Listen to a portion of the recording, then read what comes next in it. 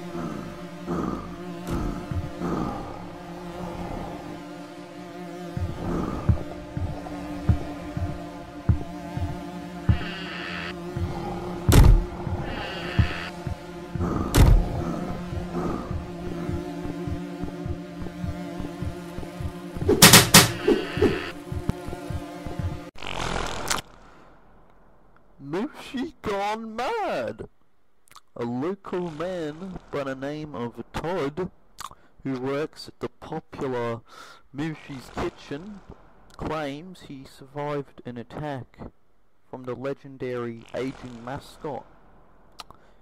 He just jumped right out at me, man. Todd, Bunhole News. Back to you.